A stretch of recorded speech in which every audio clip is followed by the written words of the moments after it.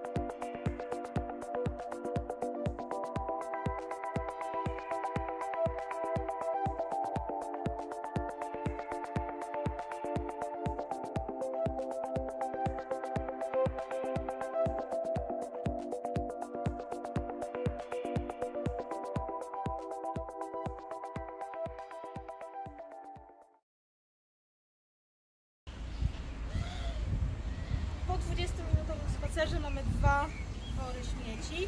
Może nie do końca pełne, ale tak naprawdę w ogóle nie powinno ich być.